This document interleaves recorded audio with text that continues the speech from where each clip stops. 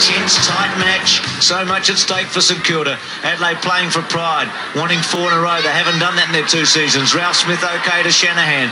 Wobbly kick, important ball. Oh, Jarman. Oh. Brilliant. Absolutely brilliant. Drop punt pass is a gem. Oh, Oh, it's as good as you'll ever see. That bit of fire. there's, there's some talent in that family. Isn't that like a Darrel Baldock or a Ian Stewart? That was just fantastic. Unbelievable play, Andrew Jarman. I'd go anywhere to watch that sort of play. Look at this. And the disposal was immaculate. Well, as you can see, I was going for a little stroll and I saw a couple, oh, and there was the ball, and I had a little bit of a look, and there's Grinder. To break your heart if you're Jarman if he misses this.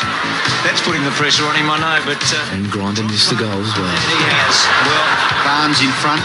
Mickan just pushes him out of the road and then taps the ball out productively. McDermott, lip tack, Jarman.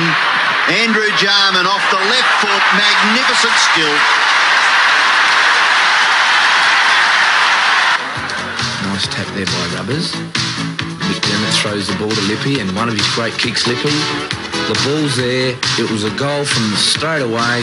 And I'd like to thank all my supporters. A bit of a kiss, a bit of a cuddle. There you go. Thank you very much. I love you all.